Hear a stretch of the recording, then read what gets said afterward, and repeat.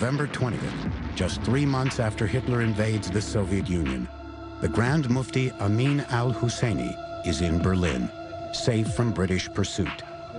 He is welcomed to the Nazi capital by the German foreign minister, von Ribbentrop. The Mufti failed in Iraq, but he is convinced that a Nazi victory in the war will, in the end, give him everything he wants. Once again, he asks von Ribbentrop for German promises to support Arab independence. He insists that the Jews of the Middle East are part of a world conspiracy and makes it clear that he fully supports their complete annihilation. He asks von Ribbentrop for FaceTime with Adolf Hitler. Von Ribbentrop is impressed.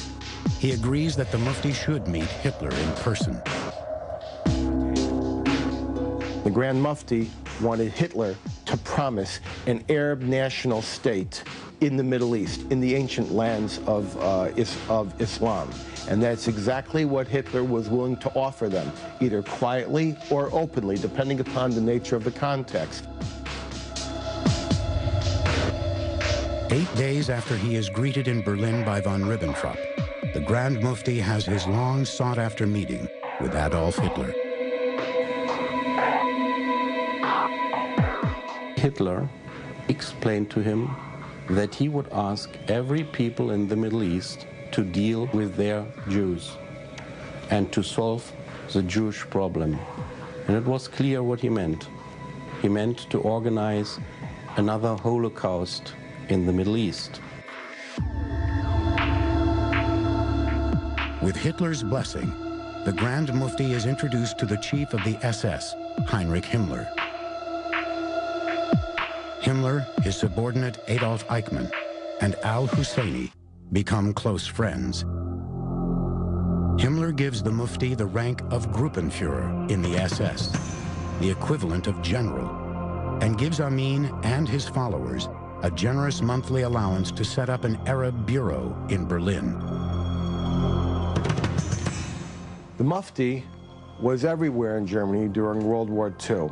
He was parading up and down the street. He was making official visits. He was making embassy visits. He was on uh, Radio Berlin uh, nightly. Himmler puts the Mufti in charge of all Arabic broadcasting from Berlin. Over the airwaves, al-Husseini repeatedly calls for another Arab uprising against the British. He also rails against the Jews, inciting Arabs to, quote, kill the Jews wherever you find them. In all of his speeches afterwards, he would always explain there are three big enemies, the British, the Americans, and the Jews. He would depict America as a, the big enemy of the Arabs. The Mufti hated Jews, he hated Zionism. His goal was to destroy the Jews, kill them before they were allowed to immigrate. In 1943, the Grand Mufti learns of plans by Hungary, Romania, and Bulgaria, countries allied to Germany, to let thousands of Jews leave for the safety of Palestine. Through his influence with Himmler and von Ribbentrop, the Mufti immediately has the programs canceled. Among the planned emigrants are 4,000 children. Their fate in Nazi-controlled Europe is almost certain death.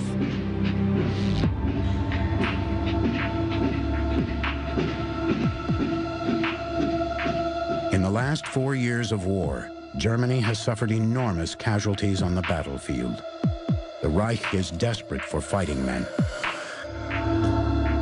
Heinrich Himmler begins recruiting Muslims from the Balkans with the enthusiastic help of the Grand Mufti, Amin al-Husseini. The Mufti helps raise the Bosnian Muslim 13th SS Division Handschar, along with other units of what the Mufti calls his Arab Legion. Altogether, the Grand Mufti helps recruit 30,000 men for the Nazi war machine. Ironically, in Nazi racial theory, Arabs are seen as inferior racial stock, and not eligible for SS membership. Himmler treats foreign SS units with contempt as second-class citizens. But after an extensive physical exam for the Mufti, he makes an exception. For this, he has Hitler's approval. The personal physician of the Grand Mufti evaluated the Grand Mufti and he said uh, he is not an Arab. He's a, he's a Caucasian, almost an Aryan. So we can expect that he will be a really reliable ally for us. The SS division Handschar is deployed hunting down underground resistors in Yugoslavia and acts as an internal security force in Hungary. The division is responsible for a series of atrocities against partisans and Jews. In April 1945, as Allied troops fight their way through Germany in the last battles of the war in Europe, the story of the Mufti's Muslim regiments takes one final twist. As the cataclysmic battle for Berlin rages around Hitler's bunker, among the Nazi troops making their last suicidal stand are 100 men of the Mufti's Arab Legion.